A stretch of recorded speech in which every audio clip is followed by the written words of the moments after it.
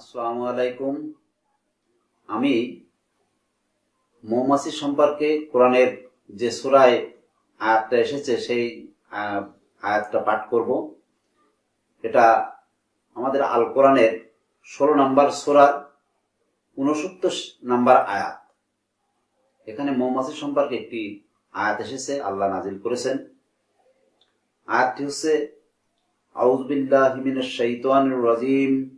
বিসমিল্লাহির রহমানির রহিম ثم كل من كل الثمرات فسلوق سبولا ربك جلولا يخرج من بطونها شراب مختلف ألوانه في شفاء للناس إن في ذلك لآيات لقوم يتفكرون অতঃপর প্রত্যেক ফল হতে আহার করো অতঃপর তোমার প্রতিপালকের সহজ পথে অনুস- অনুসরণ করো। ওর ওর উদর হতে নির্গত হয় নানা রঙের পানীয়, যাতে মানুষের জন্য রয়েছে রোগ মুক্তি অবশ্যই এতে চিন্তাশীল সম্প্রদায়ের জন্য নিদর্শন রয়েছে।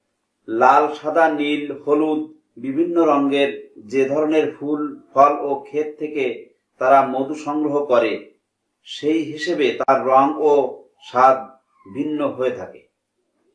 সদাকাল্লাহুল আজিম